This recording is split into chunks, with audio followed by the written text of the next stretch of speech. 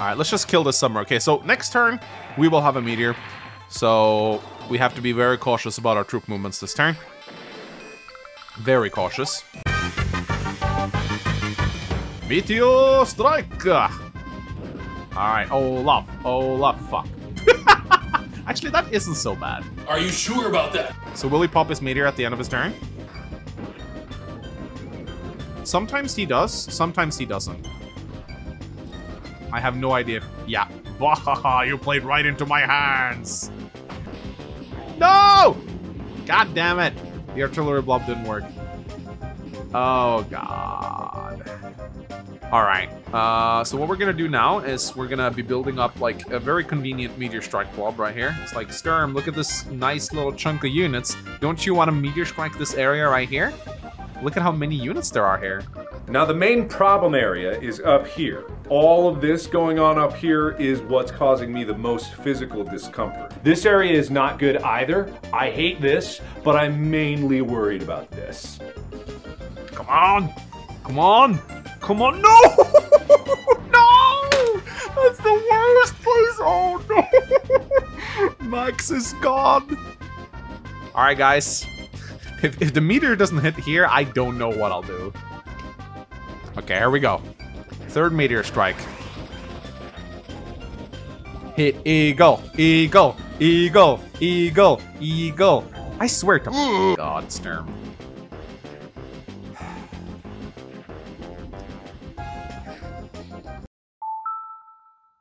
What you just saw was a fail compilation of me trying to control Sturm's Meteor Strike in the final mission of the Advance campaign. Time and time again, I tried to make the meteor hit a group of mechs down in the south, and time and time again, the meteor refused to do what I wanted it to. So I decided to do some research on exactly how the meteor works. I think this knowledge will be quite useful for a lot of players once the reboot camp launches, as knowing how to bait Sturm's meteor can be the difference between winning and losing. So in this video, I will be explaining exactly how Sturm's Meteor Strike works. Meteor Strike is the CO power of Sturm, the main antagonist of Advance Wars 1 and 2. When used, it calls down a huge meteor from the sky and hits a large cluster of units for 8 HP of damage. The meteor cannot kill units, only reduce them to 1 HP, and the exact area of the meteor's impact is identical to that of a missile fired from a silo, meaning the meteor can strike a total of 13 units if they are perfectly clumped together. The meteor must always be centered on top of an enemy unit. It cannot land on an empty space between two units to try and get both of them. Nor can it land on one of your units to strike two enemy units on both sides of it. In Advance Wars 1, the Meteor Strike uses the slow power meter, meaning it costs 50,000 funds to charge. This will take quite some time in versus mode, but when you face Sturm in the final battle of the campaign, this tends to happen very fast considering the huge number of units on the map. In the campaign, the meteor actually has a hidden component to it. It actually boosts Sturm's firepower by a pretty significant amount. He gets the same 10% defense that every other CO gets during their powers, meaning his defense will go up to 90% in total, but his firepower actually rises by 20% instead of the normal 10, meaning his troops will be at 150% strength, the same as that of Max. When you play as Sturm in Versus mode, the Meteor Strike is nerfed and only deals 4 damage, but it is still pretty strong. But this variant of the Meteor Strike provides no additional firepower increase beyond the normal 10% that everyone else gets. In Advance Wars 2, Meteor Strike is even scarier as it has been buffed. It has a price of 10 stars, making it the most expensive superpower in the game, but in addition to dealing 8 HP of damage to all enemies hit like it used to do in Advance Wars 1, Meteor Strike also raises the firepower and defense of Sturm's troops up to 40% for one turn, making them incredibly deadly. I would actually go as far as to say that in some battles, the firepower and defense increase is even more scary than the damage the Meteor deals, especially if Sturm has a very large army on the map. However, let's talk about the AI of the meteor itself. Most players understand that it tends to hit the place on the map where it can do the most damage, but there seems to be an element of randomness involved in where the meteor lands, and this is because there are actually three different meteor strikes that can occur, and which one you get is subject to a random number generator, meaning you have no control over it. However, since the RNG is re-rolled when you restart, you can reset the game and have the meteor land elsewhere, and in fact, it's not uncommon to see this done by certain speedrunners. For the sake of simplicity, I will give these three meteors different names names, so they are more easily distinguishable. I will call them the HP meteor, the value meteor, and the indirect meteor.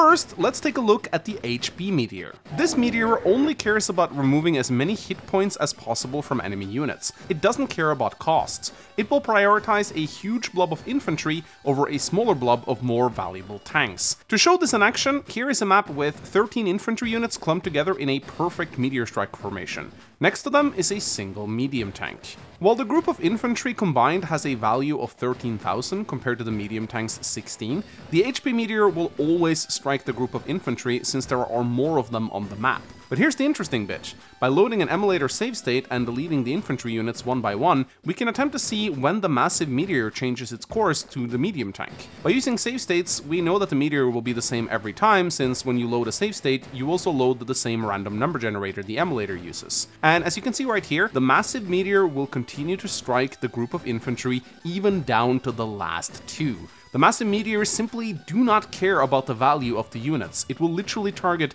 two infantry units worth 2000 over a medium tank worth 16,000, even if that is 8 times as much. Next up, let's talk about the value meteor. This meteor only cares about the total cost of units it hits. As you can see here, the value meteor will always strike the medium tank every single time, regardless of how many infantry is clumped together on the right hand side. However, if we replace the group of infantry with mechs, tripling the value of the group, the value meteor will change its course and strike the mechs instead.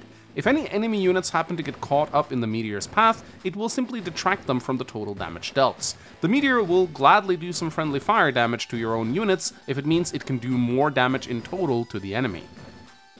Lastly, let's talk about the third variant, the indirect meteor. This meteor behaves just like the value meteor, going for the biggest congregation of unit cost on the map, but with a twist. The indirect meteor treats all indirect units as being worth twice as much in terms of value. So for example, artillery, worth 6000, would be calculated as being worth 12,000 for the purposes of the meteor's damage, while rockets would be seen as being worth 30,000. A battleship would be worth an astounding 56,000.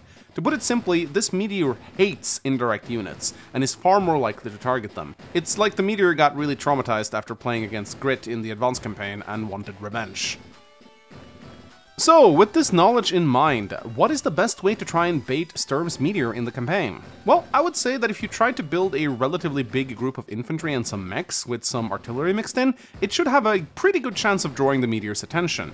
If you put a single rocket into the formation, you pretty much guarantee the Meteor will strike there if it's an indirect Meteor, as it will treat the rocket as being worth 30,000. I think one of the reasons why I failed so much to bait the meteor during my campaign stream was simply just poor luck. I most likely got three value meteors in a row, and my formation only consisted of infantry and mechs. However, we are not quite done talking about the meteor yet, because there is a brand new hidden mechanic in Advance Wars 2 related to how the meteor behaves in Fog of War. In Advance Wars 1, the meteor can strike any area of the map, regardless of your vision, which can be seen right here.